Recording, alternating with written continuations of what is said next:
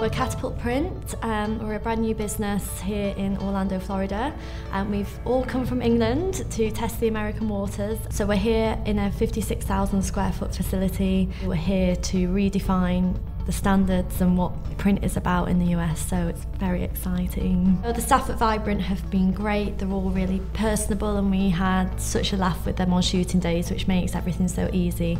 And also their creativeness, so suggesting different ways to do it, and um, everything's just turned out great. We showed them some of our old photos and footage and you know our branding and stuff. So you know they really got what we were looking for as a business. We're really modern. We want to hit the print industry with something different than everyone else has. So it was so important for us when we found a production company that they understood. And that is exactly what we got with Vibrant.